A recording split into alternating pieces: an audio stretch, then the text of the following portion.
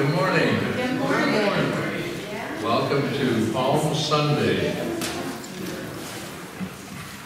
which is the beginning of what? All right, good answer. Very good. We're glad you're here. Um, DYC today following uh, worship. And then, uh, just a reminder, there's no Bible study on Wednesday. And, uh, but we do have services the remainder of the week. Monday, Thursday, seven o'clock. And we will be celebrating communion again um, on Monday, Thursday. And then uh, Good Friday, seven o'clock, uh, again, here. And next Sunday, no Sunday school. Uh, Resurrection Sunday, but a reminder that we will have the floral cross processional on Resurrection Sunday. So bring flowers, put in the cross. And, uh, and I just want to uh, uh, thank again all who provided for our choir, uh, Bible College Choir that came last week. Uh, They had a great time. Uh, They just enjoyed uh, meeting people and uh, enjoyed uh, the good food. And I would just like to thank the Board of Fellowship and the March Serving Committee. They had their hands full, and they did an excellent job of providing.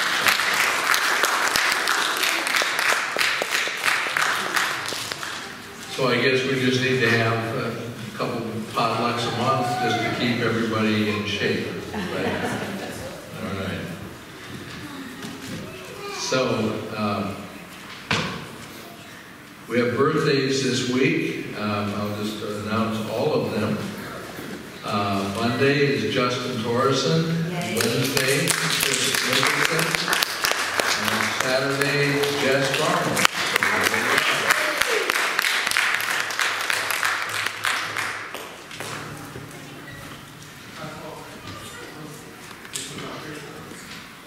Oh, I had, a- I did, thank you.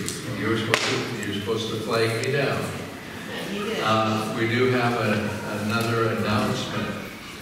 Uh, For those who aren't aware, some are, of course, but Christian and Bethany Bickle are Oh. expecting.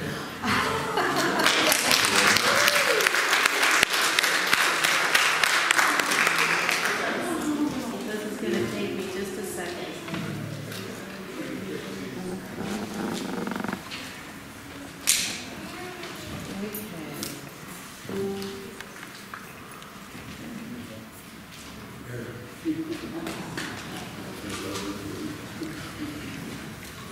I can't tell if it's on or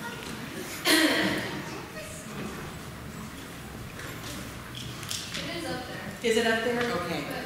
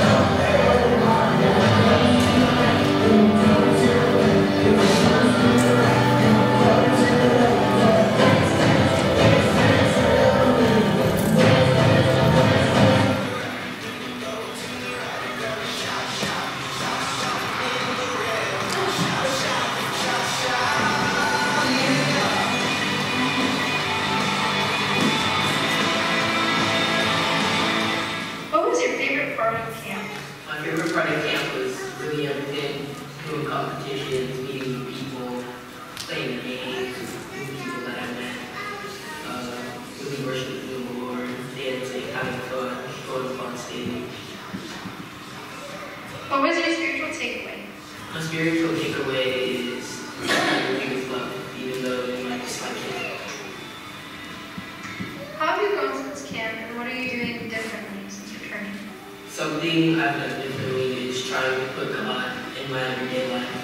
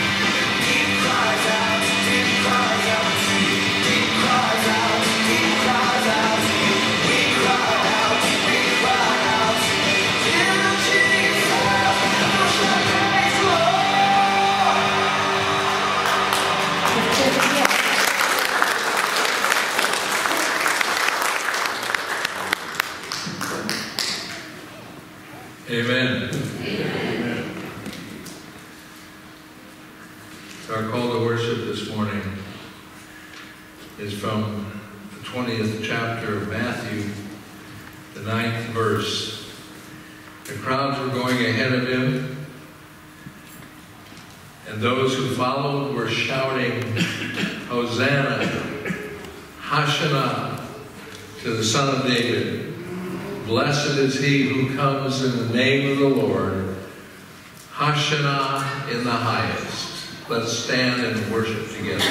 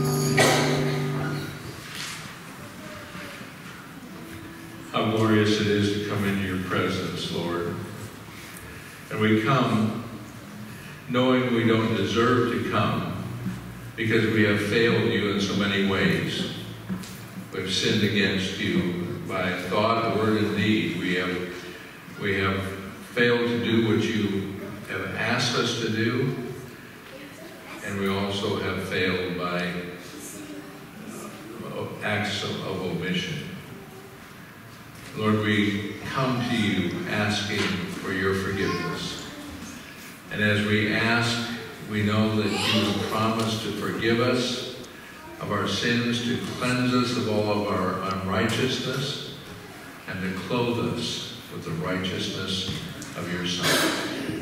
And so we come to celebrate you to worship you and praise you, to receive from you this morning.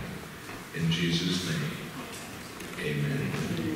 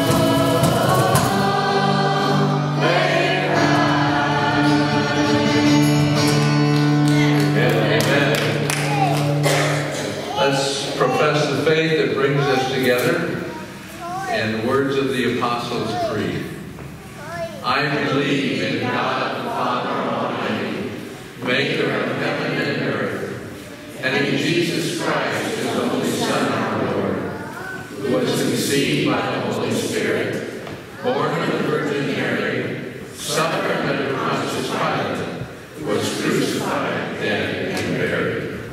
He descended into hell. The third day he rose again from the dead. He ascended into heaven and sits on the right hand of God the Father Almighty.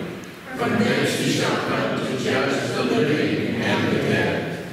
I believe in the Holy Spirit, the holy Christian church, the communion of saints, the forgiveness of sins, the resurrection of the body, and the life everlasting. Amen. And we brought your Bibles. Getting better. I don't see too many. We're getting there. Get them up. Okay. All right. Very good. So I invite you to turn in your Bibles to our first lesson.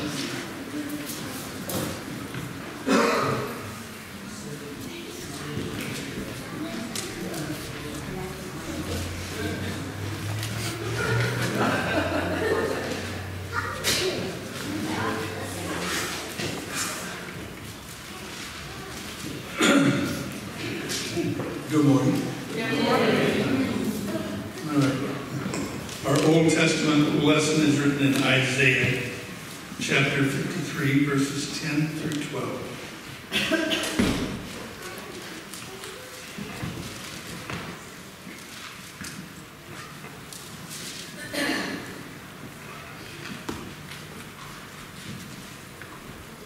All right, Isaiah 53, 10 through 12. But the Lord was pleased to crush him, putting him to grief. If, if he would render himself as a guilt offering, he will see his offspring. He will prolong his days. And the good pleasure of the Lord will prosper in his hand as a result of the anguish of his soul. He will see it and be satisfied. By his knowledge, the righteous one my servant will justify the men, as he will bear their iniquities. Therefore I will not, I will allot him a portion with the great, and he will divide the booty with the strong, because he poured out himself to death, and was numbered with the transgressors, yet he himself bore the sin of many, and, in, and interceded for the transgressors. The New Testament lesson is written in 1 Peter, second chapter, beginning with the 21st verse.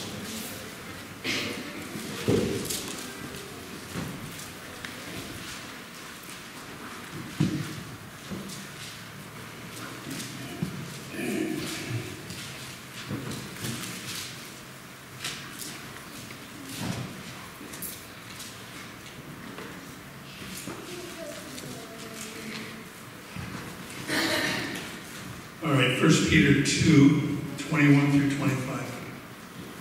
For you have been called for this purpose, since Christ also suffered for you, leaving you an example for you to follow in his steps, who committed no sin, nor was any deceit found in his mouth. And while and while being reviled, he did not revile in return. While suffering, he uttered no threats, but kept entrusting himself to him who judges righteously.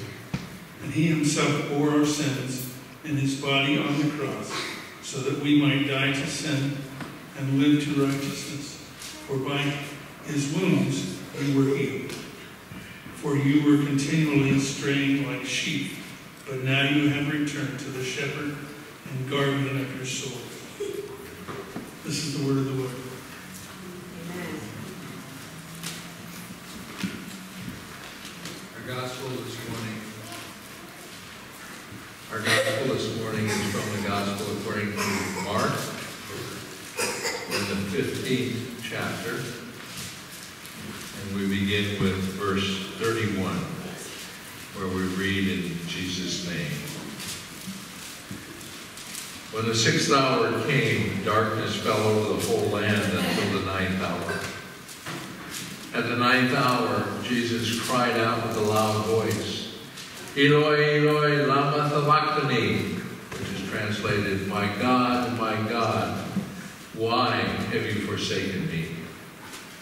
But some of the bystanders heard it, and began saying, Behold, he is calling Elijah. Someone ran and filled a sponge with sour wine and put it on a reed and gave him a drink, saying, Let's see whether Elijah will come to take him down. And Jesus uttered a loud, loud cry and breathed his last. And the veil of the temple was torn in two from top to bottom. When the centurion who was standing right in front of him saw the way he breathed his last, he said, Truly, this man was the Son of God. There were also some women looking on from a distance. Among them were Mary Magdalene and Mary, the mother of James the Less and Joses and Salome. When he was in the Galilee, they used to follow him and minister to him. And there were many other women who came up with him to Jerusalem. This is the gospel of the Lord. You may be seated. I'll invite our ushers to come forward at this time to wait upon us for our tithes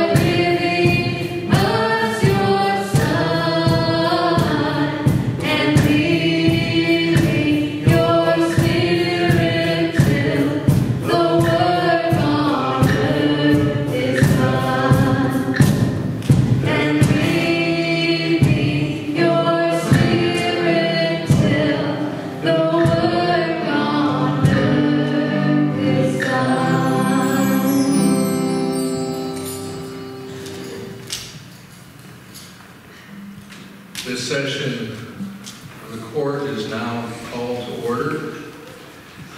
The court calls Mary of Magdala.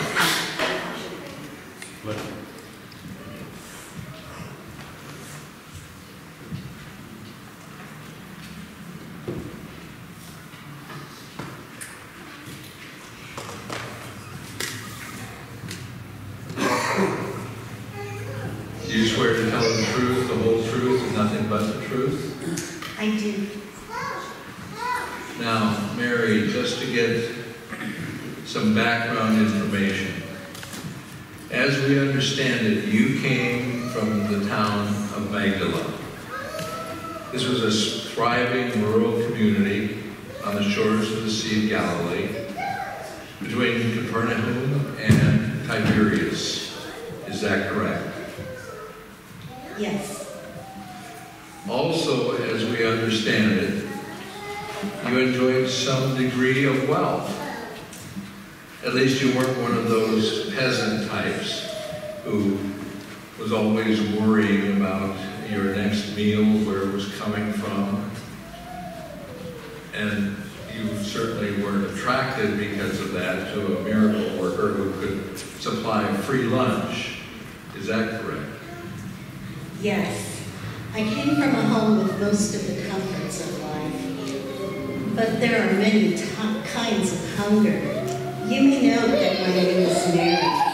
Today, that name is associated with serenity and giftedness. But the true meaning of the name Mary is bitter and grieved. And bitter and grieved I was until I met Jesus. You see, I was possessed by seven demons. That's a way of saying that I was severely afflicted. I had multiple problems. My life was a living hell. And all the wealth that my family had could find no cure. Then I met Jesus. He was just the, he was in the beginning of his ministry, and he took pity on me and cured me. It's wonderful to be healed, free at last. Why, you just, Yes, well, we've already heard about Jesus' healing powers and how appreciated they were. This court is more interested in what happened after you were healed. The relationship between you and Jesus. We understand that you literally became one of his followers, one of those camp women who saw to his and his disciples' needs. yes, I became one of Jesus' followers, but it was all very proper. Jesus preached love for one another, but it was a higher form of love, not a carnal one. A love like God has for each of us. Along with several other women, Joanna, Mary, the wife of Cleopas, Salome, Susanna, and others, we saw that Jesus' needs, cooking and the like. Those of us who could supported him financially. We were privileged to learn from him and share his teachings with others, often other women. We were disciples every bit as the men. Female disciple. We know that among the women, you were always mentioned first. So you were the leader of these women and had a special relationship with Jesus. I did coordinate our part of the work. And since I was one of Jesus' first healings, and a major one at that, I did have a certain status among the women. As for my relationship with Jesus, after what he did for me, I would have given my life for him. Yes. Now, that gets us to the point in our inquiry tonight, today. You were there when Jesus was crucified and died. Is that true? The soldiers kept most of the people at some distance. I, I guess they feared the disciples might start a riot or try to and or try to save Jesus in some other way, but they allowed some of the women to come closer. It was terrible to see his suffering, but we wanted to offer some comfort, any comfort we could. And as it turned out, though, we were comforted and inspired. comforted and inspired. Watching a man beg for his life, curse his tormentors. We warned you that this witness's mental balance might be fragile. It might be she was not completely cured in the first place. Surely no one in their right mind could find the trials of a criminal at the point of execution inspiring. But that's just it. Jesus, who was innocent and had more right than anybody to curse, spoke words of comfort and blessing. Why, his first words were a prayer for forgiveness to those who were doing this to him. He said, Forgive them, Father, for they don't know what they're doing. Well, it must have been known that some criminals facing execution speak kindly to their executioners, even try to slip them bribes in hopes of being treated with some sort of mercy, even if it's just a swifter death. But Jesus wasn't just praying for the soldiers. He was asking God to forgive all who made his suffering necessary. Even you, even me. It is our sin as much as theirs that's required, that required Christ to make this sacrifice. That's why his next words were so important, the ones he spoke to the thief. You see, Jesus was crucified between two bandits. One taunted Jesus, but the other acknowledged his sin, recognizing, recognizing that Jesus was innocent and also recognized his divine origins. He asked Christ to intervene for him with God. He sought forgiveness and was promised eternal life. This is what the whole story of salvation is about. Christ came to die for our sins, whether criminal acts or everyday sins we're not aware of. It's God's gift to us so that we can live and die in peace, knowing we will always be with Christ and He will be with us. We need only to accept the gift. Yes, well, that's very nice. But let's get back to the facts and testimony of what you heard. By the way, are there any cooperating witnesses? Or were you just the only one who heard Jesus speak? Well, yes, there were others nearby. In fact, Jesus' next words were to his mother and his beloved disciple John, I believe. He, Jesus, loved and cared for his mother right to the end. Jesus gave her into the care of John, his disciple. They were to be family for each other. And thus, Christ set an example for all, all of us. We are to be each other's fathers and mothers, sons and daughters, sisters and brothers. We are to take Jesus' place in caring for, comforting, and supporting each other. This really isn't the appropriate time or place for a sermon on Christian fellowship, I hate to tell you. Could we please get back to what you saw and what you heard? Well, there wasn't much more. It became dark, like night, even though it was midday. and that darkness lasts for three hours.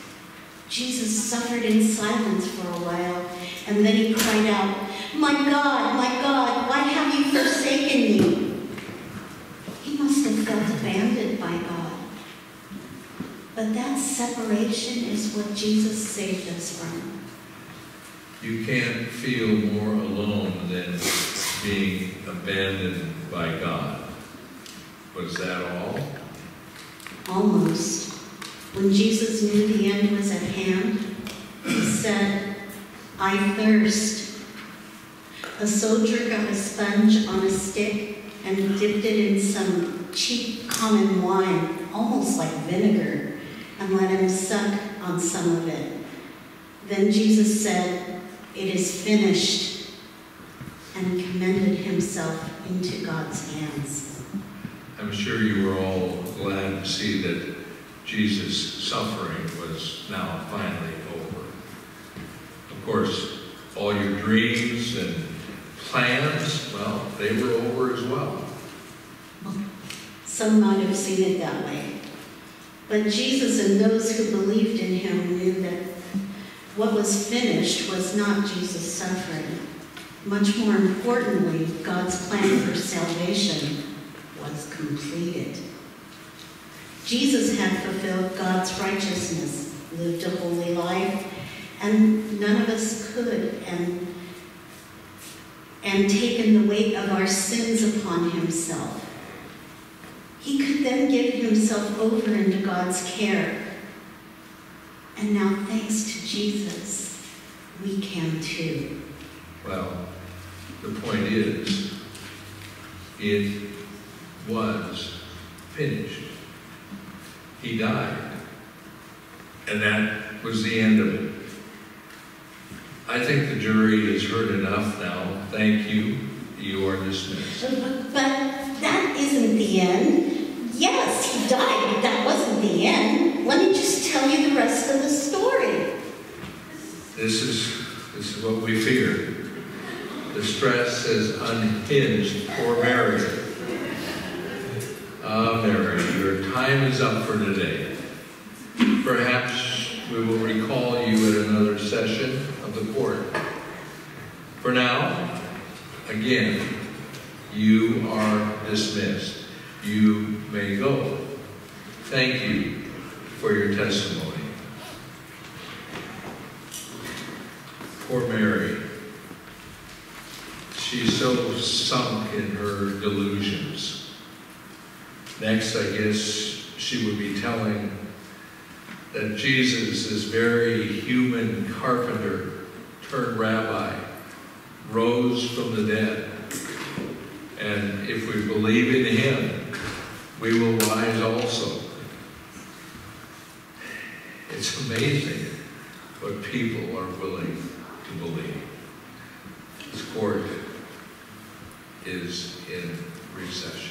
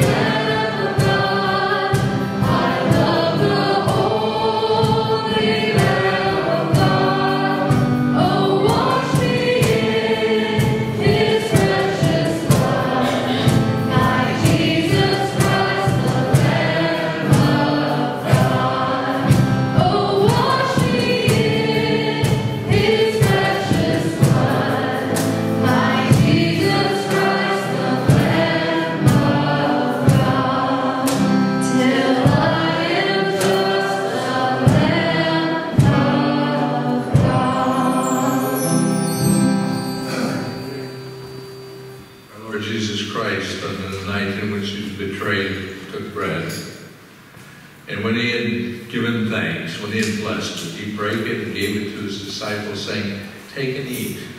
This is my body, which is given for you. Do this in remembrance of me. After the same manner also, when they had supped, he took the cup. And when he had given thanks, when he had blessed it, he gave it to them, saying, This cup is the new covenant in my blood, which is shed for you and for many for the forgiveness of sins.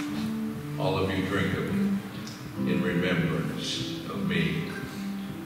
The Apostle Paul reminds us, is not this cup, this cup of blessing, blessing which we bless is sharing in the blood of Christ. Is not the bread which we break is sharing in the body of Christ. Since there is one bread, we who are many partake of the one bread, and therefore we are a part of the one body.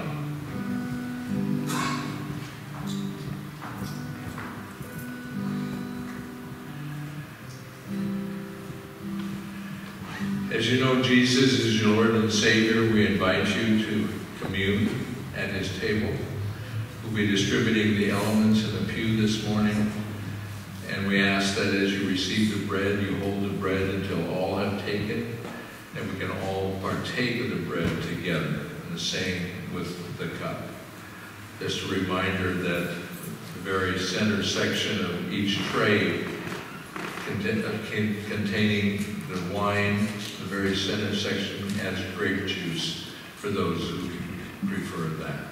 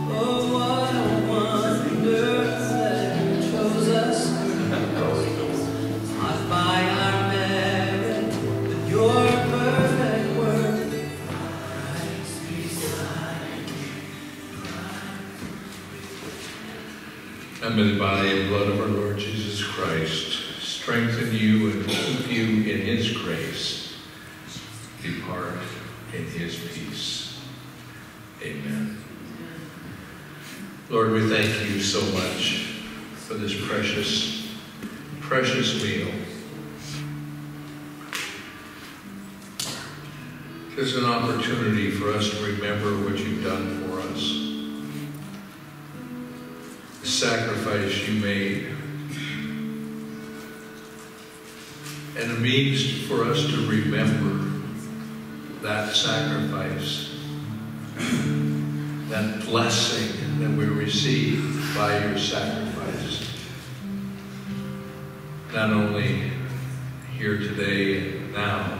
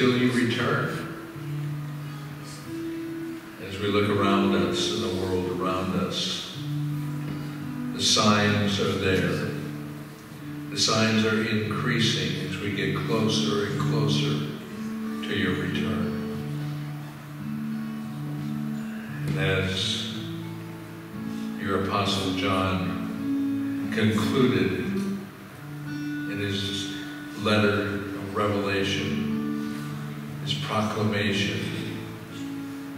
As the New Testament ends, come, Lord Jesus, come. Lord, as you strengthen us and fill us and carry on day by day, hour by hour, by week. Lord, we look around us and to some we marvel, but we know of your healing touch, the strength that you and only you can provide.